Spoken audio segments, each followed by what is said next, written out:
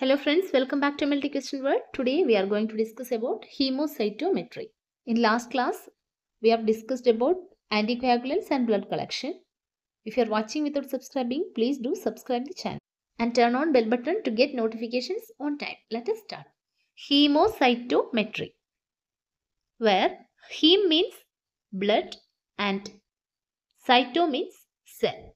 And the cells are RBC, WBC, platelet, eosinophil. The term metry means measurement. So, hemocytometry means blood cell measurement. Hemocytometry is of two types that is manual and automatic. The manual method is much time consuming and the test have a considerable degree of error and it is an older method. So, now we are using automatic methods for cell counting. These are less time consuming, accurate and reliable. Examples are Coulter counter, Sysmex, Mindray, etc. Other than cell counting, they also provide additional informations like HB, PCV, MCV, MCH, MCHC, etc. The apparatus used for manual method of cell counting is hemocytometer. Hemocytometer consists of a special type of glass slide called counting chamber and two special types of pipettes RBC pipette and WBC pipette. These are micropipettes. The parts of a micropipette are stem, bulb, rubber tube and a plastic mouthpiece. The stem is a narrow elongated part which is graduated.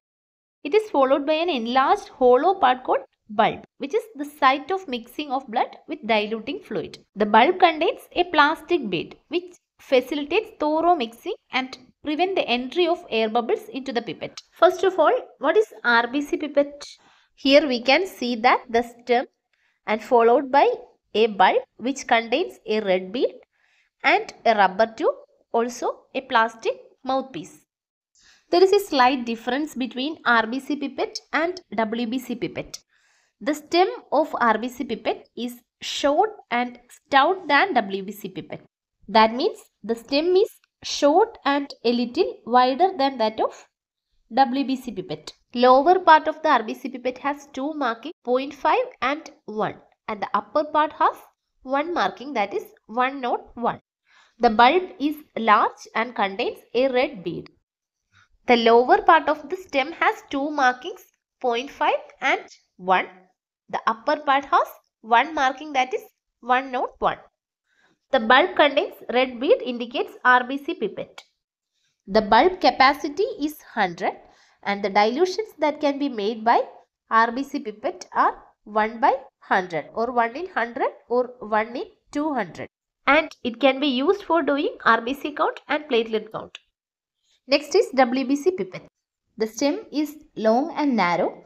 The lower part of the stem has two markings as that of RBC pipette that is 0.5 and 1 but the upper part has the marking 11. The bulb of the WBC pipette carries a white bead and the capacity of the bulb is 10. The dilution that can be made by WBC pipette are 1 by 10 and 1 by 20.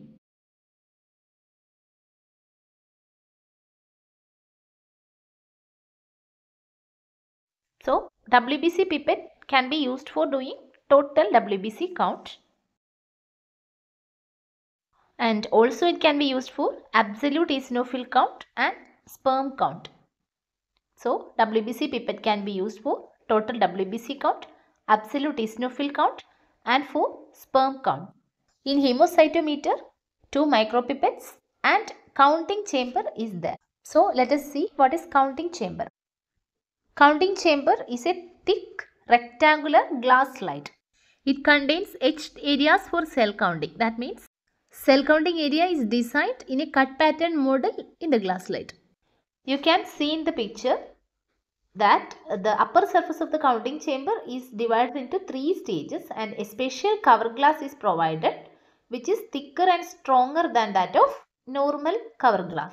The upper surface of the counting chamber is separated into three stages by ridges 1, 2, 3 and the central stage is used for cell counting. The central stage is little lower than the other two side stages. The central cell counting area is called the ruled area. The cover glass is placed on the two side stages without touching the central area. So there will be a small gap. That gap is called as depth of the counting chamber. That means the distance between the lower surface of cover glass and the upper surface of the counting chamber is known as the depth of the counting chamber. And almost all of the counting chambers have a depth of 0.1 millimeter. Next is different types of counting chambers. Different counting chambers are available. Thomas Zeiss counting chamber, Barker counting chamber, Fuchs Rosenthal counting chamber, improved Neubauer counting chamber, etc. The most commonly used counting chamber is improved Neubauer counting chamber. The first counting chamber was improved Neubauer counting chamber. It is improved and new version is named as improved Neubauer counting chamber. The depth of improved Neubauer counting chamber is 0.1 millimeter and ruled area is 9 millimeter square. Also we have Thomas counting chamber, Barker counting chamber and Fuchs Rosenthal counting chamber. The ruled area of Thomas Zeiss counting chamber is 1 millimeter square. It is a very small counting chamber. Only 1 millimeter square ruled area is there. Then Barker counting chamber is 9 millimeter square as that of improved Neubauer counting chamber. Then Fuchs Rosenthal counting chamber. It has a large ruled area that is 16 millimeter square. Thomas counting chamber, Barker counting chamber and improved Neubauer counting chamber have the same depth that is 0.1 millimeter. Only exception is Fuchs Rosenthal counting chamber. It has 16 millimeter square ruled area and a depth of 0.2 millimeter. Next we have to study in detail about improved Neubauer counting chamber.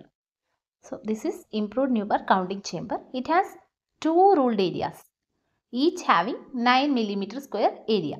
The two ruled areas are separated by a central gutter. Each ruled area is 9 square millimeter.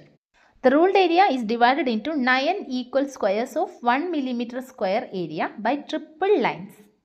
Like this, the ruled area is divided into 9 equal squares, each square having 1 millimeter square area. So, the total area is 9 millimeter square and the division is by triple lines. The ruled area is divided into 9 equal squares by triple lines. Here, the four corner squares are used for WBC counting. The each WBC column is again divided into 16 small squares. There are 4 squares of 1 millimeter square are there for WBC counting. The each WBC column is again divided into 16 small squares by single lines. All WBC column is divided like that. And the division is made by single lines. Then what about RBC counting? For RBC counting, the central square is used. The central square that means RBC area is again divided into 25 small squares by triple lines. This is the central area that is used for RBC counting. It is again divided into 25 small squares by triple lines. Then it is again divided into 16 tiny squares by single lines. After dividing into 25 squares by triple lines, the each square is again divided into 16 small squares by single lines. So, improved Neubauer counting chamber has two ruled areas separated by a central gutter each having 9 millimeter square area. Each ruled area is divided into 9 squares of 1 millimeter square by triple lines. The corner squares are used for WBC counting. Each WBC counting area is again divided into 16 small squares by single lines. The central square is used for RBC counting and it is divided into 25 small squares by triple lines and each small square is again divided into 16 small squares by single lines. Okay, it's all about improved Neubauer counting chamber. So today we are winding up and if you are watching for the first time, don't forget to watch the previous video. We will complete the syllabus. Thank you.